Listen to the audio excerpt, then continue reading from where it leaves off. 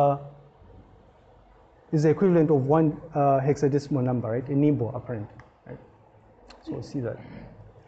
Um, so a reminder here on examples, right? And, and I thought we'd start this by, by, by going back to what we did last term, right? There, there's this notion of uh, permissions in Unix that we discussed at length, and it turns out that the, the permissions, the numbers, remember the numbers, the, the uh, 4, 2, 1, and 0, right?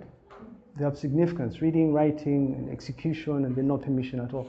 It turns out that these numbers actually represented using um, the octal number system, so base 8, right? And I know we're not discussing the octal, but I just thought we'd get an appreciation of um, specific examples where these number systems are used, right? And we know that it's octal format because if you remember our discussion of this 3 by 3 matrix, what we realized was that um, at a bare minimum, you could represent a permission um, with a zero, implying that no permission has been granted at all. And then at the most, you can have you can only have what a seven as the maximum, right?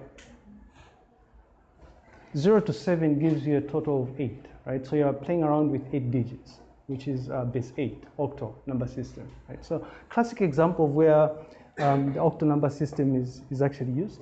I just thought people would, uh, would remind themselves about this. It might come back when you're dealing with computer security next, next